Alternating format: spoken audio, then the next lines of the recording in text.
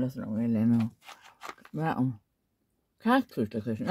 Nå, jeg finder, jeg er ret åben menneske, okay. Jeg har eksisteret i mange år.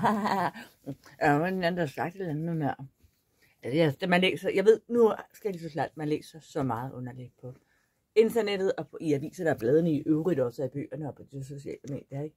Alle mulige steder. Come on. Come on. Altså, det, det er ikke kun på internet og sociale medier. Man taler også med nogle mennesker i gang imellem, og de siger også gang, nogle, gange nogle underlige ting i real life. Der findes også folk, der siger mærkelige ting. Det er ikke kun på sociale medier. Men, men der er en anden, der har fortalt mig, og det kan godt være det rigtigt, fordi nu, nu, er, nu bliver det rigtig spooky. Nu bliver det rigtig spooky, ikke også? Fordi øhm, um, ja, det er mørkt, så sådan en dejlig skumringstime, sådan ligesom at i familien i Sverige nærmest. Det var meget hyggeligt sådan omkring sådan noget med så og strenlys og Sankt aften og sådan noget. Det var vildt hyggeligt, ikke? Nå, midsommer, men det holdt jo ikke. Men, men altså, det var en eller anden, der sagde noget med, hvad der sagde, um, øhm, at der var der sagde noget med at um, skrev, selvfølgelig. Det var, det var et, et, et, et skrift. Og nu med, det var, hvad var det med, at, um, at han blev angrebet om natten med, med um, altså, der er folk, der mener, at de bliver angrebet af sov, blå mærker. Uh, altså folk, der bliver angrebet af, altså i, med, i tarmsystemet, så de, selvom de, de har spist helt almindeligt, er måske lige frem antiinflammatorisk, øhm, altså Ja, altså antiinflammatoriske, altså uden gluten og bakterier i det hele taget, for forarbejdet fødevarer og alt det her. Sådan, altså i det hele taget at leve sådan fuldstændig uden øh, tilsætningsstoffer og alle former for fabrikater og halvfabrikater og tilberedt. Sådan virkelig sådan, virkelig holistisk, virkelig sådan bio. bio. Og, og sådan, det var ligegyldigt, hvordan du spiste, om du så drak cola og spiste på fri, der har burger. Sådan. Det var hinsides der, altså, der bare blev angrebet simpelthen via sådan noget underligt, nærmest mikrobølger eller andet sådan i tarme og kroppen, så der blev maveproblemer og hovedpine og sådan, uden at det var livsstilsmæssigt eller nogen som helst. At der var nogen, der fortalte, at, at der var ikke nogen, der havde lys her. Der var nogen, der sagde noget med, eller andet med, de simpelthen ikke havde, øhm, altså, øh, nå, strøm på igen, hold den der, den der strøm nu. Men altså, de ikke øhm, havde nogen, heller ikke engang læger, ikke øh, fag, speciallæger eller noget inden for, for deres sygdom eller område, altså, jeg kunne svare på, hvordan i alverden kan man lige pludselig blive så syg på sådan underlig sygdom, som bare bliver ved ved, ikke? Og, sådan, og så er der nogen, der får en ryggen, nu der vågner op og står og står, og sådan, hvad handler det om, ikke? Og man sidder jo tilbage, når man sidder bare og hører det, sådan der, det er volapyk.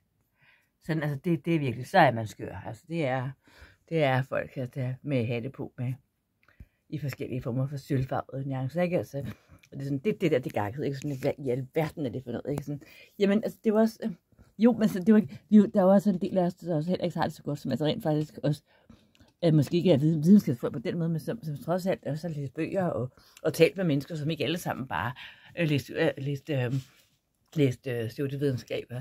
Og det var ikke sådan nogle grimme fordomme om, hvor øh, kloge mennesker i landet bor hen, sådan, så var talt med alle mulige forskellige mennesker, og også meget sådan naturnørdede øh, videnskab, eller andet, øh, som også nogle gange har sagt nogle ting, som, hvor er det underligt. Altså, det er også helt godt med Pambingen med de der porre der, der var farlige, og smør, man skulle holde sig fra. Men selv, så var hun, altså, så var hun lidt mere sådan, så svarede hun lidt til sin tid, når man skulle spise og sådan noget, men hun var mystiker. Men, men det er mere sådan det der med, at der er nogen, der mener, at de bliver angrebet simpelthen et eller andet fra luften. Altså, det, hvad skal jeg så mere sige om det, fordi det, at der er jo også noget med nogen, der er lyde og, og alle mulige sådan nogle, altså, områder i bevidstheden af farver og lyde og, og duft, og noget, sådan, som at gå ind og sådan, det er bare teorier, altså jeg, jeg har ikke sandheden, om at folk angriber via forskellige mere parapsykologiske, men også videnskabelige, sådan meta, altså også kvantemekaniske, hvad, hvad, hvad skal man kalde det, fysiske lov, plus det er også lidt spirituelt, ikke? Koblingen af det, som simpelthen bliver angrebet på, altså det er jo også nogen, der synes, at yoga med chakra, det er jo flip, det er, jo ikke, det, det er jo også mennesker, der synes, det er jo en sort videnskab, det mener jeg ikke, det er, men men derfor, der siger, at vi bliver simpelthen, det her det er jo så nærmest folk, der har krigs, øh, så det videnskab, altså sådan en bølge, sådan, altså våben, sådan noget bølge, altså mikrobølgevåben, at, at, at du bliver angrebet på din krop simpelthen, det, det er jo sådan, hvor skal det, altså hvor du simpelthen bliver, altså, altså hvor du simpelthen bliver næsten, altså hvor du, altså simpelthen angrebet og får anfald, hvor det ikke kan forklares med en læge, men du simpelthen bare bliver, øh, altså simpelthen bare, øh, store områder af din krop, så, så er det tarmene, så er det udsletter. Det er jo ikke pollen på den måde, eller alle mulige virkelig vanvittige ting. Men altså, der er jo også det værste, der er sådan, med hensyn til videnskab, så kan man også se, kan der være noget om det? Det er jo lidt værd sådan akademisk menneske spørge op og så undersøge det. Men altså, der er jo i hvert fald folk, som... Jeg kan ikke vide, nu bor jeg jo lige tilfældigvis i Nordjylland, og sådan, der er mange, der sådan, du ikke, som jeg talte med nogen om, sådan, inden bag dørene, så sådan, gud, der bor nok ikke nogen, der bor nok ikke nogen mennesker, vel? du har ikke læst på brevsprækken, der står ikke, at boligen er ledig eller noget, men altså, altså sådan, det, det, ser, det, ser, det, godt, det ser ikke ud som om, det er en helt sprit ny ledig bolig, men det ser ikke ud som om, der er noget liv eller beboelse, og så lige pludselig der skal man en person ud, ikke? Og det har talt med nogle, nogle, nogle stykker om, sådan, et af de her idéer om, at folk har det dårligt, og, og tager alle mulige ting, og har det rigtig skidt inden sig selv. Det er jo tragisk. Det er jo egentlig forfærdeligt, at mennesker ikke får hjælp, ikke? Men om de selv har valgt det, det ved jeg, men det, er altså, det ved jeg ikke. Altså, sådan, til enkelt tror jeg trods ikke, det er hverken fra lægens forklaring, eller systemets forklaring, eller deres egen, men det er jo sådan, om de selv har valgt det. Sådan, det er meget enkelt bare slå hen, men, men underligt er det, altså, og det, det er heller ikke sikkert, at de alle sammen nødvendigvis har taget stoffer eller sådan noget. Det er jo heller ikke nødvendigvis sådan nogle, sådan nogle historier fra et eller andet familie med overgreb. Det er ikke nødvendigvis tilfældet, men, men, men nogle gange så bliver man simpelthen, fordi, og tænker, hvad er det her, fordi du bliver bare bange. Øh, eller ikke bange, forskrækket i hvert fald. Det var jeg bor, der er der meget udskiftning. Men det var der også i København. Det er jo ikke sådan sådan. Men, men det har man jo også lov til. Der er jo ikke nogen, der forklarer noget som helst. Det gjorde de selvfølgelig heller ikke i Nordvest, men det kunne også være, det var farligt for dem, men det går man da ikke ud for det er her. Men, men øh, øh, der er i hvert fald, hvis ikke det man siger mere mellem himmel og jord, så der er i hvert fald mange ting, der er meget alvorlige, som der er nogen, der taler om.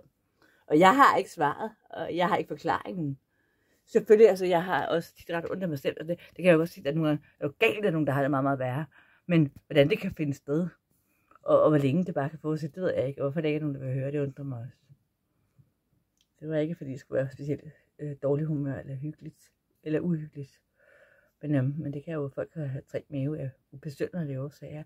Og der er også, altså, eller alle mulige sygdomme, som der ikke er nogen, der kan forklare, heller ikke inden for det alternativ. Ja, det er skræmt. Tak for det.